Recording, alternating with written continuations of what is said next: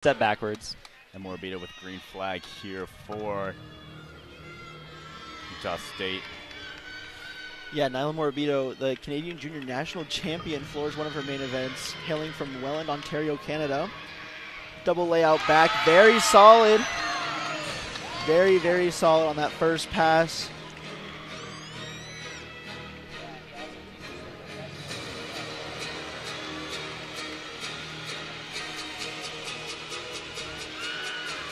Her second pass, very solid again.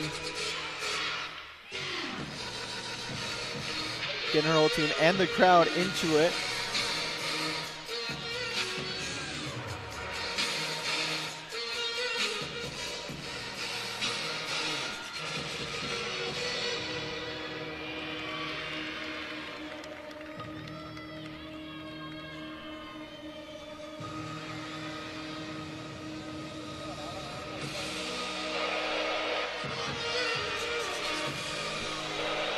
Morabito getting ready for that third and final pass. A front full to another front full. Pretty solid landing. That's going to be a pretty good score for the Aggies, making up for that fall from Vodder.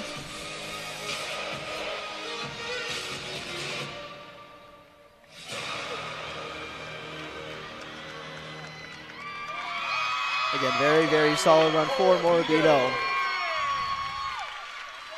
Yeah, she's been very essential to this lineup. As you see, a huge double layout to start.